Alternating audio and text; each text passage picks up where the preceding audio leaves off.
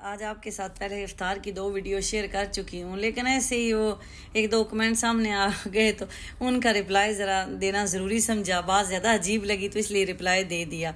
तो ये जो सोशल मीडिया है, ये तो सीखने की जगह है इंजॉय करने की जगह है। तो जो समझदार इंसान होता है, वो तमाम इंसानों से कुछ ना कुछ सीखता है।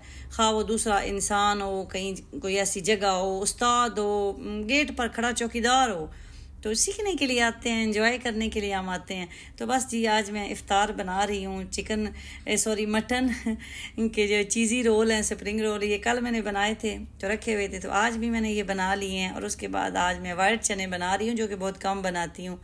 तो आज वाइट चने मैंने कहा बनाती हूँ तो साथ फिर मैंने कहा तड़के वाले चावल बनाती हूँ। लेकिन मीठी आ गई, और देखा कि मामा ने तो आलू काटे ही नहीं तो ये कैसे हो सकता था? फ़ौरन कहा कि इसमें आलू डालें।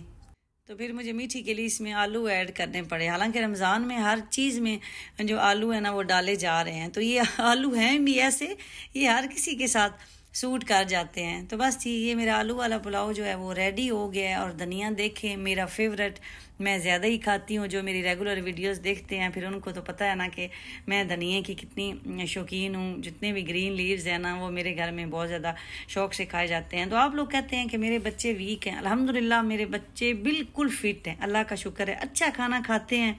फुल हो के खाते हैं। एक हमारी जो मीठी है ना वो सिर्फ़ कुछ नहीं खाती। उसका आप कह सकते हैं वो सिर्फ़ आलू खाती है। उसका दिल करता है हर चीज़ में आलू हो। बाकी हमदान आपको देखने में अगर स्लिम लगता है लेकिन माशाल्लाह वो भी अच्छा खाना खाता है मुझे उसकी तरफ़ से कोई टेंशन नहीं है। एक बॉडी होती है ना अपनी अपनी एक कुदरती तो उसकी बॉडी ऐसी है। सलार भी माशाल्लाह वैसे ठीक है। तो मीठी जो है ना बस इसका इसका ये जब छोटी थी तो बीमार थी अस्थमा का इसको इशू था। अब तो अल्हम्दुलिल्लाह काफ़ी बेहतर हो गया बल्कि अल्लाह का शुक्र है कंप्लीट ठीक हो गई है। तो इसका हमें टेंशन रहती है, बाकी दोनों को तो खैर है।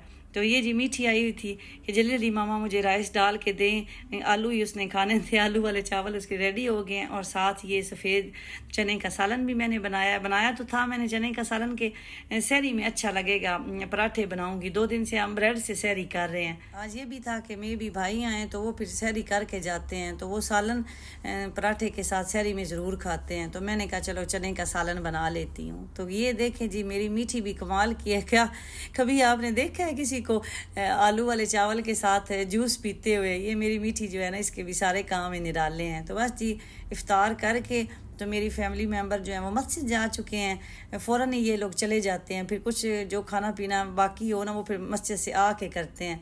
तो ये हम माँ बेटी जो है ना, वो अभी तक डाइनिंग पे बैठे हुए हैं। तो हमने कहा कि हम एक दफ़ा खा लें तो उसके बाद फिर नमाज़ पढ़ते हैं।